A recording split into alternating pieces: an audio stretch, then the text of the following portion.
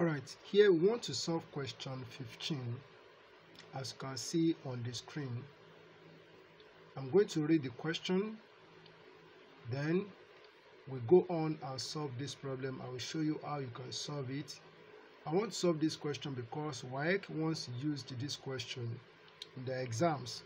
So that's the reason why I want to solve it. So in case they repeat it this year or next year.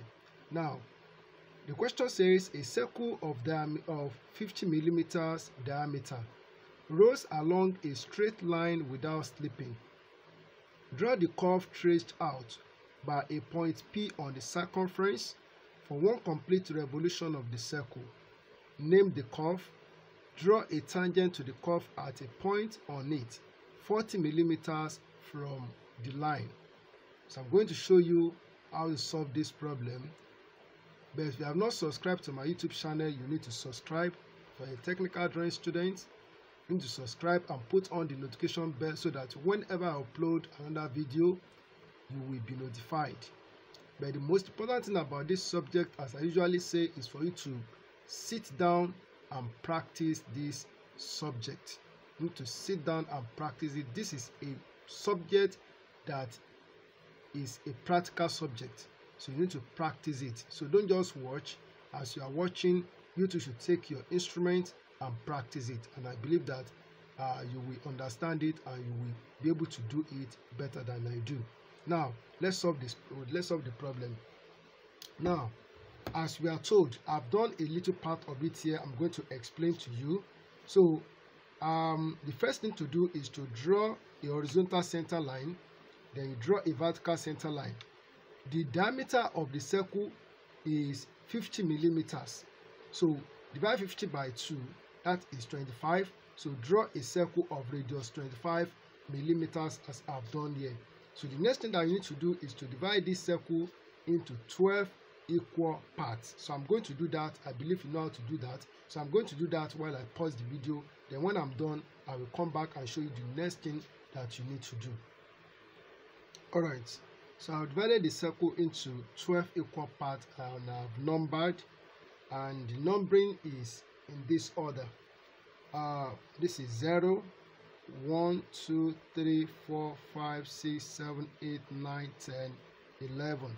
Now this 0 that I put here is the starting point because uh, the circle is rolling on a straight line though I've not drawn the straight line so it's rolling on a straight line and uh, this has to do with the way the tire of the, a car moves on uh, on the surface of the road. So uh, this is just like a tire that is rolling on the surface of the road. When it completes one revolution when it moves round when it completes one revolution it forms it's going to it forms the curve that we are asked to produce. And uh, okay? Now the next thing that we are going to do here is that we are going to draw horizontal line from each point on the circumference of the circle. So for this so you draw horizontal line from here then 1 and 11 down the same point on the circumference of the circle draw horizontal line. Then 2 10 then on the same point on the circumference of the circle draw horizontal line then we have drawn for 3 and 9 so the next is 4 and 8 so draw horizontal line. Next 5 and 7 draw horizontal line.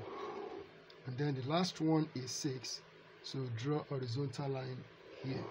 So having done this the next thing that we are going to do is that we are going to take the measurement of the circumference of this circle on this first line that comes out from 0 now we need to calculate the circumference of this circle as we know that diameter is 50 millimeters. So the formula for calculating the circumference of circle is pi d. So pi is 3.142 or 3.14. So 3.142 times 50 will give us 157. So 157.1. Just take it as 157. So take a measurement of 157 millimeters on this line. A measurement of 157 millimeters on this line. So um, this is a short ruler.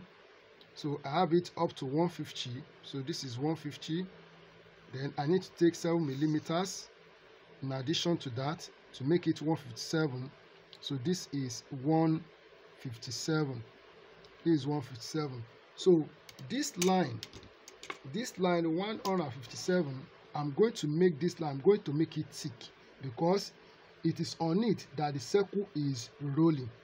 So it has to be made a thick line. So make it a thick line. So to this point. So this is it. Now this 157 millimeters line we are going to divide into 12 equal parts as we have divided the circle into 12 equal parts. And our circle is rolling starting from zero here is going to end at this point so this will, be labeled zero. This will be labeled zero. So we are going to divide this line zero zero into 12 equal parts as the circle is divided into 12 equal parts. So i'm going to do that while i pause the video. When i'm done with that i will come back and tell you the next thing that you need to do. All right.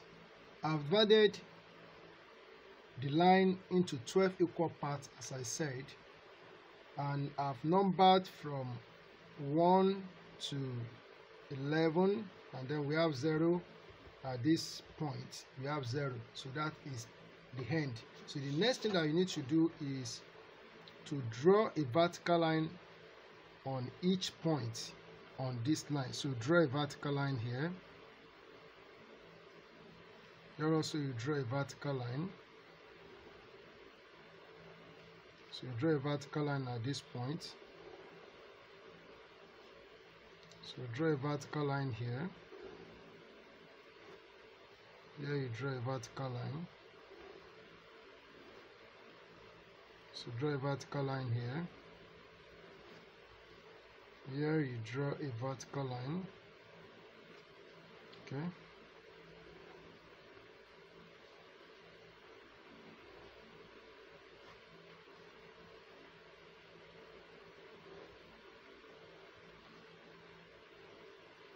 draw a vertical line here. And then you draw a vertical line here. All right. So the next thing that we are going to do is that this point at the center so we call it center c0 so this is on this horizontal center line.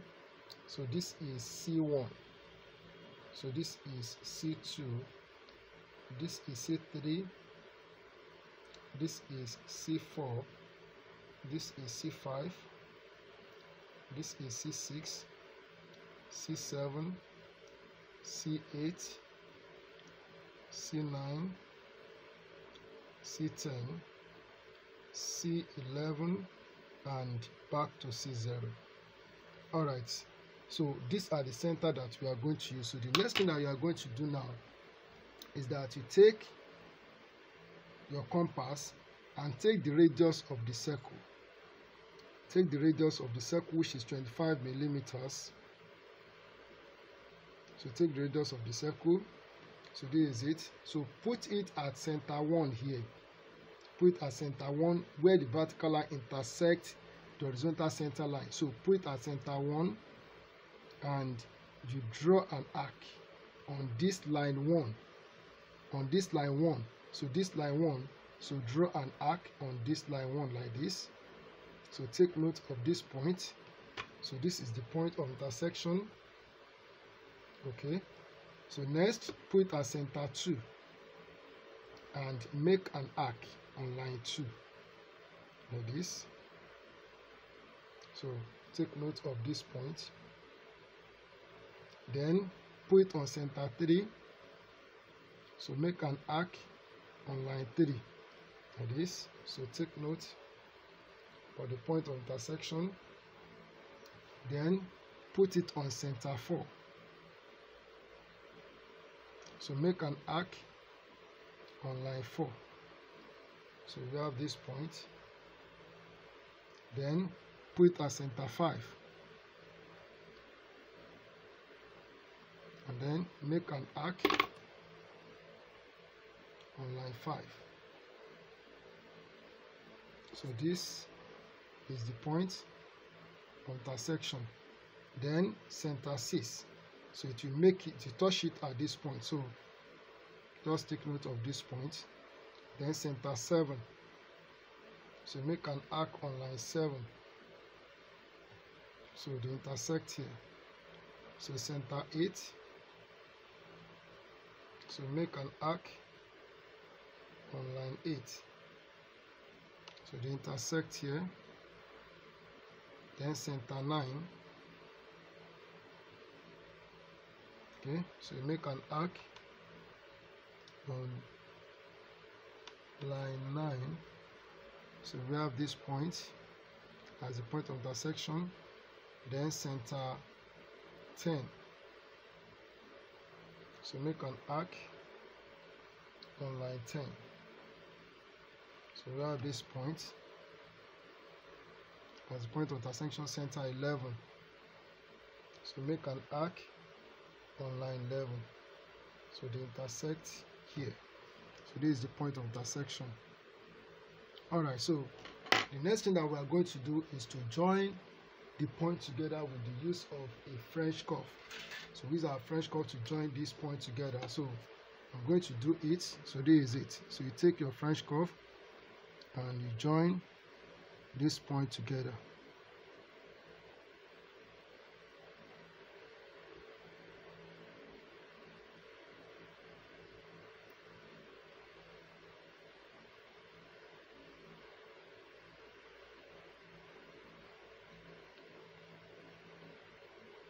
Okay.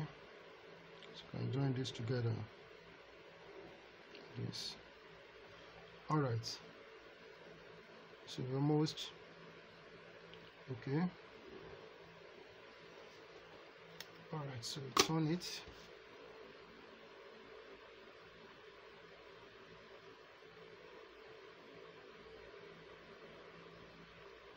Okay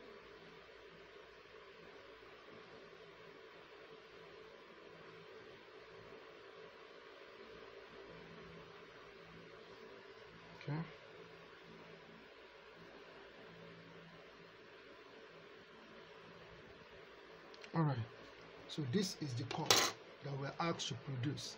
And this curve is known as a cycloid. It is called a cycloid. We are asked to name the curve after we have traced it out. And this curve is known as a cycloid. So this is the curve that will be produced as your tire or as the tire of your car is moving on the surface of the road. When it turns round so this curve will be generated.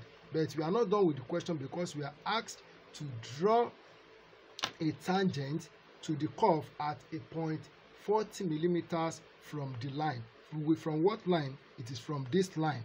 From this line upon which the circle is rolling. So what you need to do now is that you take a measurement of 40 millimeters a measurement of 40 millimeters from the line. Take 40 millimeters up so this is 40 millimeters here. Then you draw a horizontal line. So from this point draw a horizontal line to the curve. So you touch it here. So this is the point. This is the point. So and I will call it point P. So this is point P so the next thing that you need to do is that so you take your compass so the radius of the circle you take the radius of the circle. So this is the radius of the circle. So put it at this point P here. Put it at point P and you make an arc on this center line on this horizontal center line. Make an arc here as I've done it here. On this horizontal center line make an arc. So wherever you touch here so you touch this point. So I will call this point I will call it point Q. So this is point Q. Then from point Q so draw a vertical line. Draw a vertical line from point Q here. So draw a vertical line onto the line. So you draw it down like this. So wherever I touch here so we call this point we call it point R on the line. Then you have to draw a straight line from point R passing through point P. Is it. So I'll stop it here. So I'll now use my black pen to draw a line like this. So this line so let me call it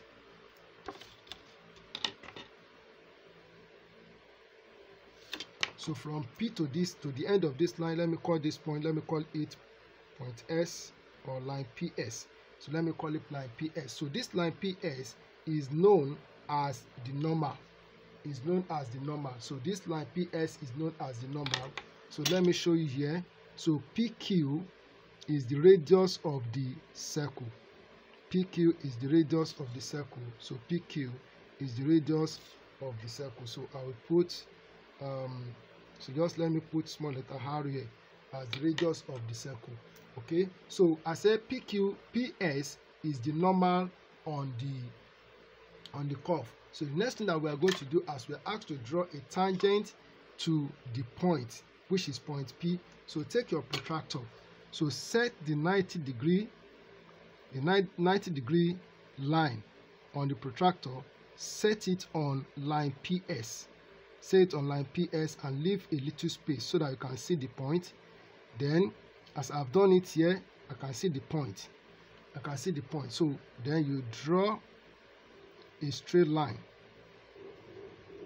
from here to here. So draw a straight line through point P as I've done it here. So this line let me call it line LM so this line LM is the tangent that we are asked to produce. So we have answered the question. So and don't forget that I said this curve that we have produced is known as a cycloid. As we are told there that we should name the curve. So you need to write it. So you need to write it. So you write it somewhere here or you can just draw uh, an arrowhead line so draw it here and write cycloid on it. And then you need to name this a tangent. You can also name this a normal. So i've answered the question as simple as i've done it. Here all you need to do is to practice. Don't just watch as i usually say. Make sure you practice it. As you are practicing it you're mastering it. And i believe you can know it more than i do if you do what you are supposed to do. Don't forget to share my videos with your friends who are technical drawing students tell them about this particular uh, uh, about uh, this particular channel which has to do with technical drawing. And you too you continue practicing and you also make it. Thank you. God bless you